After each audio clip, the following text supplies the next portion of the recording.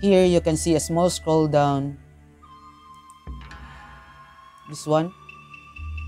Scroll down. So just scroll it down until you reach the bottom. So here I'm going to do that. Here you can see the 1920 by 1080 resolution. Click it and then click apply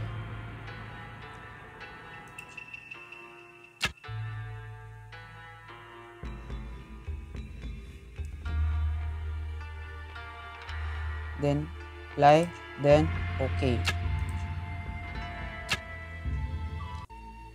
And then yeah that's it.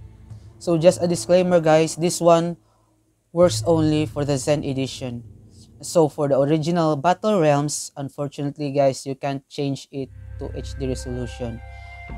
So that's it. A quick video how to change the resolution for battle realms zen edition if you think this video helped you, please let me know in the comments section. If you like Battle content, check out my other videos. Don't forget to smash up the subscribe button. It really helps the channel a lot. Thank you and peace.